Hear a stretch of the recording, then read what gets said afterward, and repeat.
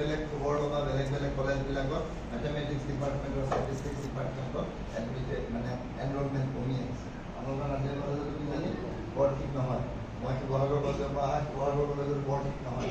Statistics এতিয়া অংক এনেকুৱা হৈছে কি অংক পঢ়িম বুলি কোনো নাই। জিঅ'লজি পঢ়িম বুলি আহে এম এছ টি পঢ়িম বুলি আহে নেপালে ঠিক আছে মেথছ মোক গৈ লৈ পেলাই গুচি যায়। তাৰমানে জীৱনৰ লক্ষ্য কৰি অহা নাই যে মই অংক পঢ়িম।